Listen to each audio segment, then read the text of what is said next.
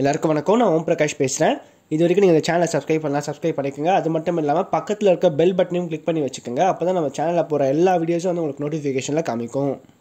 மேலும் ஜோதிடம் சம்மந்தமாக உங்கள் சொந்த ஜாதகத்தை பற்றி ஏதாவது கேள்வியோ அல்லது சந்தேகமோ இருந்துச்சு அப்படின்னா கீழே கமெண்ட் பாக்ஸில் கமெண்ட் பண்ணுங்கள் முடிஞ்ச வரைக்கும் எல்லா கமெண்ட்ஸ்க்கும் நான் ரிப்ளை பண்ணுறேங்க அது மட்டும் இல்லாமல் உங்களுக்கு வந்து உங்களோட சுய ஜாதகத்தை பற்றி முழுசாக தெரிஞ்சுக்கணும். அஸ்ட்ராலஜி கன்சல்டேஷன் அதாவது ஜோதிடம் சம்மந்தமான ஆலோசனைகளுக்கு கீழே வந்து என்னோடய வாட்ஸ்அப் நம்பர் கொடுத்துருக்கேன். நீங்கள் வந்து அந்த நம்பருக்கு வந்து தொடர்பு கொள்ளலாம். கீழே டிஸ்கிரிப்ஷனில் நம்பர் வந்து கொடுத்துருக்கேங்க.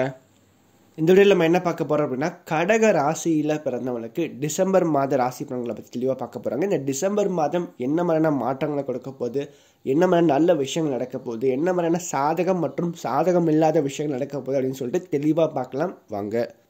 வீடியோக்குள்ளே பொறுத்த மாதிரி இந்த மாதோட கிரகங்களை பற்றி ஃபஸ்ட்டு இப்போ பார்த்துடலாங்க. மாத தொடக்கத்தில் மேஷத்தில் ராகுவும் துலாத்தில் கேதுவும் இருக்காங்க. அதற்கு அடுத்து பார்த்திங்கன்னா ரிஷபத்தில் செவ்வாய் வந்து இந்த மாதம் முழுக்க இருக்கார். அடுத்து விருச்சிக ராசியில் பார்த்தீங்கன்னா சூரியன் டிசம்பர் மாதம் பதினைந்தாம் தேதி வரைக்கும் விருச்சிகத்தில் இருக்கார்.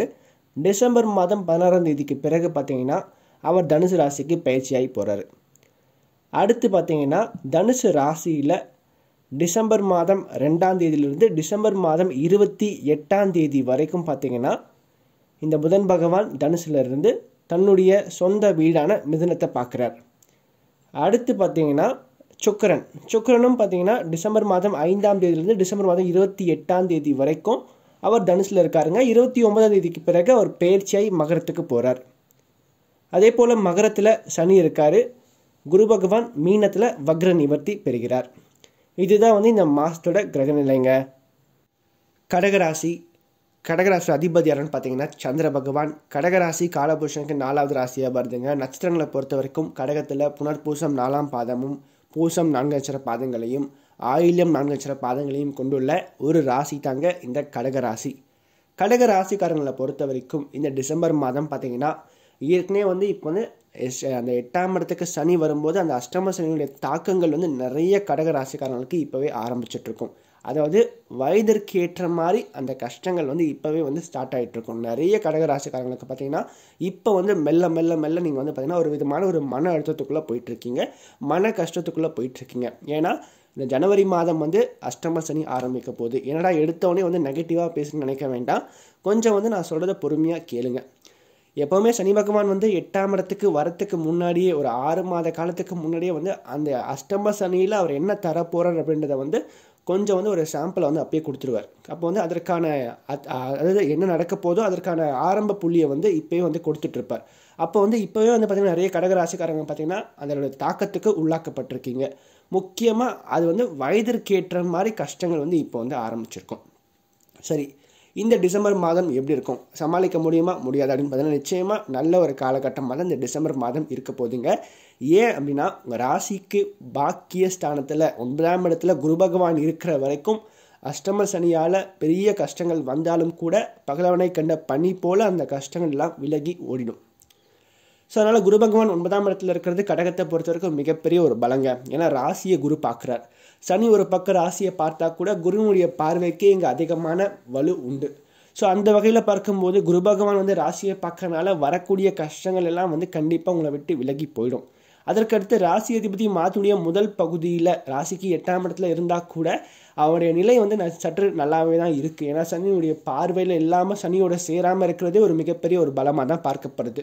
அதே மாதிரி குடும்பஸ்தானத்தை சந்திரன் பார்க்குறதும் ராசிக்கு ஐந்தாம் இடத்துல சூரியன் அமர்ந்து குருவினுடைய பார்வையில் இருக்கிறதும் இந்த குடும்பத்தின் மீது இருந்து வந்த குடும்பத்தில் இருந்து வந்த கஷ்டங்கள் குடும்பத்தில் இருந்து வந்த சண்டைகள் சச்சரவுகள்லாம் மெல்ல மெல்ல சரியாக ஆரம்பிக்கும். அதே மாதிரி குடும்பத்தில் ஒரு ஒற்றுமை வந்து நிலவ ஆரம்பிக்கும் இந்த மாதம்.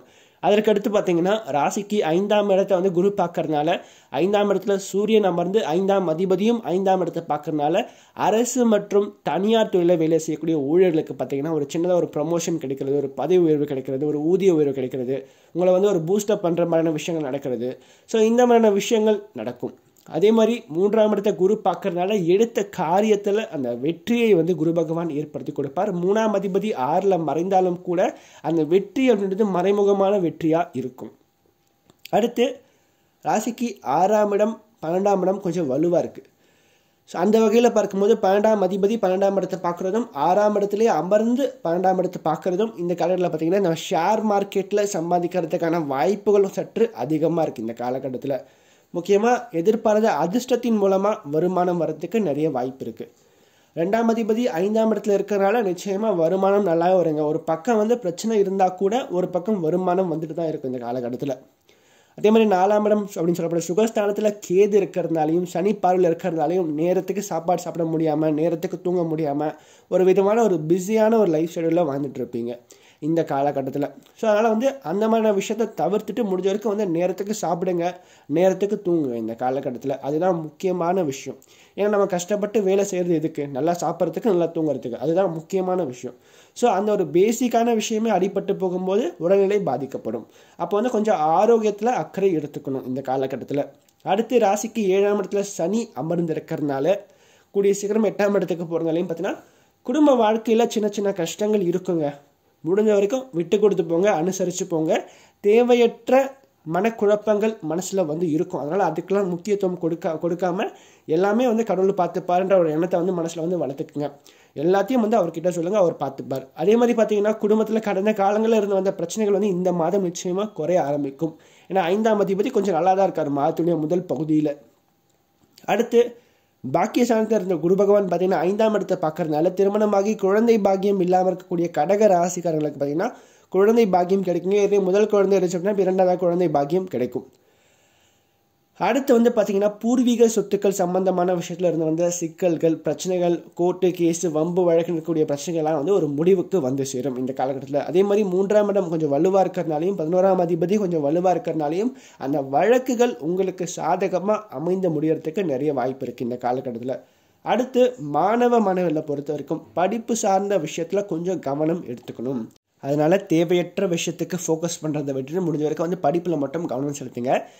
ஏன்னா ராசிக்கு நாலாம் இடத்துல கேது இருக்காருங்க சனிப்பாரில் இருக்கிறதுனால அந்த படிப்பில் ஒரு விரக்தியும் ஒரு டிஸ்டர்பன்ஸை கண்டிப்பாக கொடுக்கும். அதில் ஒரு நாட்டத்தை இல்லாமல் பண்ணிடும். ஸோ அதனால் முடிஞ்ச வரைக்கும் வந்து விநாயகர் வழிபாடு அதிகமாக பண்ணுங்கள் வாரத்துக்கு ஒரு முறை வந்து பக்கத்தில் இருக்கக்கூடிய விநாயகர் கோயிலுக்கு போயிட்டு வாங்க. இதனால் கண்டிப்பாக வந்து இந்த கேதுடைய தாக்கம் கண்டிப்பாக குறையும். அதே மாதிரி லாபஸ்தானத்தில் செவ்வாய் இருக்காருங்க. பத்தாம் இடத்துல ராகு இருக்கார். அப்படி இருக்கும்போது தொழில் சார்ந்த விஷயத்தை பொறுத்த வரைக்கும் நிச்சயமாக தொழிலில் இருந்து வந்த பிரச்சனைகள் எல்லாம் மெல்ல மெல்ல சரியாகுங்க. தொழிலில் ஓரளவுக்கு நல்ல ஒரு நிலை தான் வந்து இந்த மாதம் வந்து இருக்குங்க. ஓரளவுக்கு வருமானத்தை பெறக்கூடிய ஒரு மாதமாக தான் இந்த மாதம் வந்து உங்களுக்கு அமையும். அதே மாதிரி கணவன் மனைவிக்கிடையே வந்து சின்ன சின்ன மனஸ்தாபங்கள் வந்து போகும். முடிஞ்ச வரைக்கும் விட்டு கொடுத்து போங்க. தேவையற்ற வார்த்தைகளை உபயோகப்படுத்துறதை குறைச்சிக்கோங்க. அடுத்து ராசிக்கு மூன்றாம் இடத்தை குரு பார்க்கறதுனால இளைய சகோதர சகோதரிகள் வழியில் ஓரளவுக்கு சாதகமான ஒரு நிலை தான் வந்து நீங்கள் வந்து எதிர்பார்க்கலாம். அடுத்து பன்னெண்டாம் இடம் வலுவாக இருக்குங்க. பன்னெண்டாம் இடம் வலுவாக இருக்கும்போது சொந்த ஊரை விட்டு கடல் கடந்து வெளிநாடு போயிட்டு அங்கே பிழைக்கிறதுக்கான வாய்ப்புகள் அதிகமாக இருக்குது இந்த காலகட்டத்தில். அப்போ வந்து அப்ராட் போகிறதுக்கு யாரெல்லாம் முயற்சி பண்ணுறீங்களோ அவங்க அவங்களுக்குலாம் வந்து ஒரு சாதகமான ஒரு காலகட்டமாக இந்த காலகட்டம் உங்களுக்கு அமையுங்க.